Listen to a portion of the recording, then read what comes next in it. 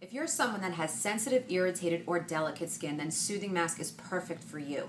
Use this at night after you cleanse your skin, very thin layer, and leave it on for about 10 or 15 minutes to reveal very calm, hydrated, and soothed skin.